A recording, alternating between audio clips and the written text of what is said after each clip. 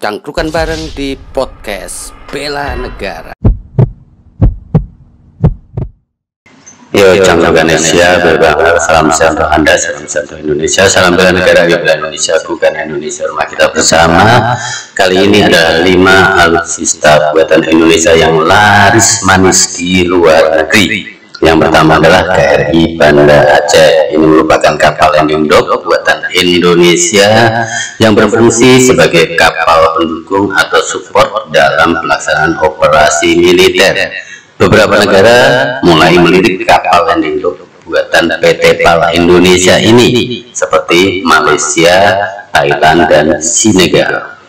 Kedua, kapal cepat rudal atau KCR PT PAL Indonesia juga membuat kapal cepat rudal bersama jenis landing platform dock atau LPD kapal perang ini diekspor ke Filipina, Malaysia, Thailand, dan Uni Emirat Arab dengan total nilai ekspor 1,1 triliun rupiah. Nah, ketiga adalah tank buat Antasena Duta Besar untuk Rusia Wahid Supriyadi menyebut Rusia telah memesan tank buatan uh, but Antasena buatan PT Lundin. Sebelumnya tujuh kapal RIP atau Right Inflatable boat jenis uh, Corvatex berhasil diekspor ke Rusia.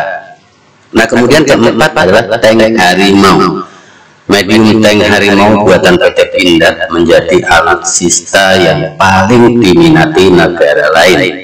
Dalam periode 2020 sampai dengan 2023, tank ini telah diorder sebanyak 18 unit dengan nilai kontrak seharga 135 juta dolar Amerika Serikat atau sebesar 1,9 triliun.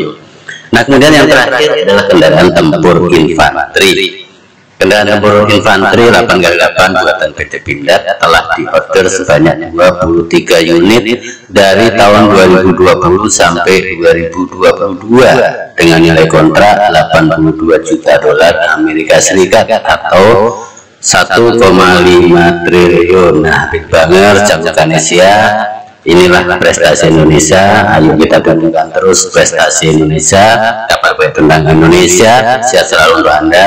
Salam bela negara yuk bela Indonesia aku karena Indonesia rumah kita bersama. Cangkrukan bareng di podcast Bela Negara